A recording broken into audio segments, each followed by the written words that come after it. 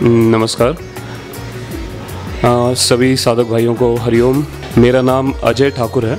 मैं अंधेरी वेस्ट यारी रोड पर रहता हूँ मुंबई के अंदर।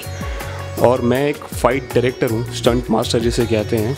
बॉलीवुड बॉम्बे की जो फ़िल्म इंडस्ट्री है उसके अंदर एक फ़ाइट डायरेक्टर के आ, पोस्ट पे काम करता हूँ।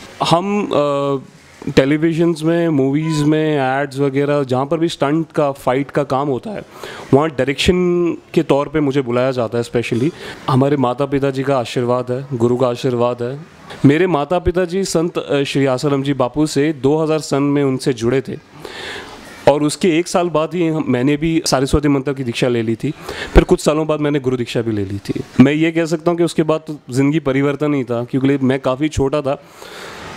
जब मैंने गुरु दीक्षा ली थी तो उसके बाद हमने सिर्फ़ यही माहौल देखा है, बस पूजा पाठ, सेवा करना ध्यान भजन करना, हमारे घर पे रोज़ ध्यान भजन, आरती वगैरह सब कुछ होती है।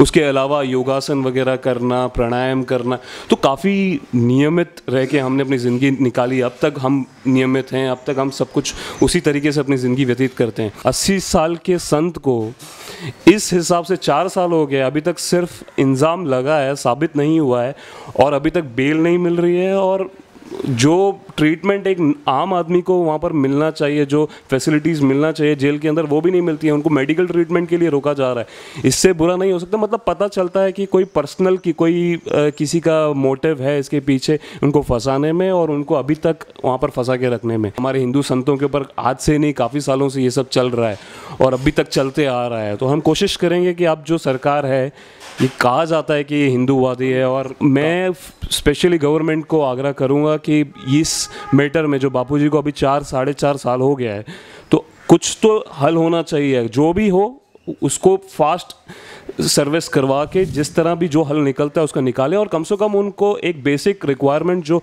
हर कैदी की होती है, वो तो दिया जाए। कम से कम मेडिकल फैसिलिटीज़ उनको नहीं दी जाती है। कम से कम वो तो मिलना चाहिए। ये तो उनका हक है।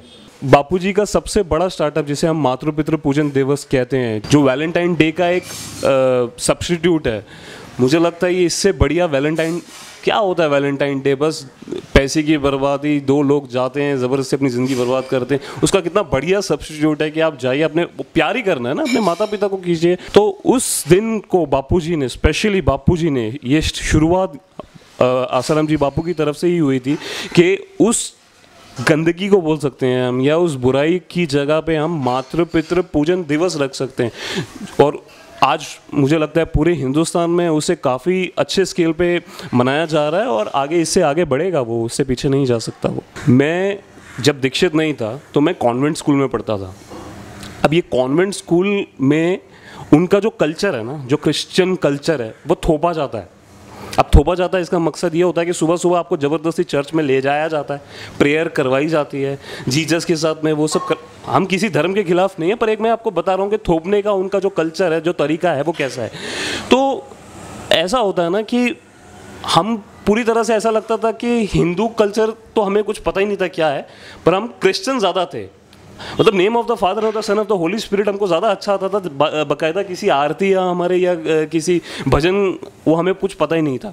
जब हम जुड़े, हम आरती करना शुरू किया हमने पूजा पाठ शुरू करने, मंदिर जाना शुरू किया, नियम करना शुरू किया, अब आपको लगता है जो अपना कल्चर थोपना चाहते हैं, वो ये सब चीज़ें बर्दाश्त कर सकते हैं? नहीं कर सकते। यही चीज़ बापूजी के साथ में उन लोगों को प्रॉब्लम हुआ है कि जहाँ उनका इतना अच्छा काम चल रहा है, ये क्रिश्चियन मिशनरीज का कहीं आदिवासियों में जाके कन्वर्ट करें, आधे से ज़्यादा साउथ कन्वर्ट कर दिया नॉर्थ ईस्ट कन्वर्ट कर दिया तो एक वन मैन शो कोई सेंट खड़ा होता है उसके खिलाफ, अपने कल्चर को फैलाने की कोशिश करता है तो बहुत ऑब्वियस सी बात है कि उनके पास खरबों रुपए हैं, वो लोग दो मिनट लगाएँगे किसी को फंसाने में या किसी को, अगर उनके काम में कोई बाधा डालता है तो ये कोई छुपी ढकी बात नहीं है। शरेआम है कि क्रिश्चियन कन्वर्शन है। सारे संतों के ऊपर उन लोगों ने आरोप लगाए, उनको जेल में पहुँचा है, पता नहीं कईयों को मार भी दिया है। और बापूजी इतने बड़े संत हैं तो उन्होंने कोई कसर नहीं छोड़ी बापूजी को कि वो और कल्चर का ना फैलाव कर सकें। इसके लिए उनको फंसा दो सिंपल सी बात है।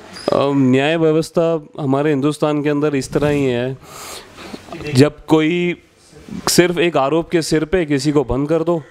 चार पाँच साल तक केस चलता रहे दस साल तक केस चलता रहे। उसके बाद अगर उनको क्लीन चिट मिल जाए या फिर उनको आ, उनको सज़ा साबित ना हो तो उसके बाद उसका कोई मुआवजा नहीं है। और मुआवजा तो कोई किसी की ज़िंदगी का कर भी नहीं सकता है। जैसे बापू जी की अस्सी साल के अंदर वो लोग चार पाँच साल ऑलरेडी ख़राब कर चुके हैं और आज अभी तक साबित नहीं हुआ है जो आरोप है।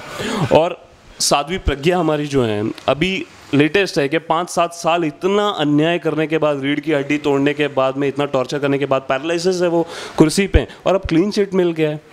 तो ये न्याय व्यवस्था हमारे हिंदुस्तान का, मैं आशा करता हूँ कि सुधरे, पर आज तो इसकी बहुत गड़बड़ी है, और मैं, हमारे जितने भी दर्शक हैं जो मुझे देख रहे हैं, मैं सिर्फ़ इतना आप लोगों से विनती करूँगा कि जो हो सकता है हम कोशिश करें कि हमारी ये जो जो सिस्टम है, जो इतना करप्ट है, इसको थोड़ी अच्छे रास्ते पे लेके जा सकें और इतना अन्याय किसी के साथ ना हो।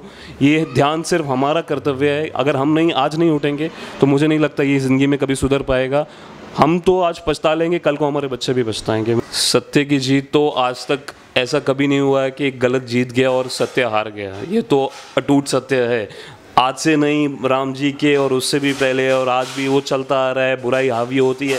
पर अंत में सत्य जीतता है, सत्य जीतेगा बापू जी बाहर क्लीन चिट लेके आएँगे।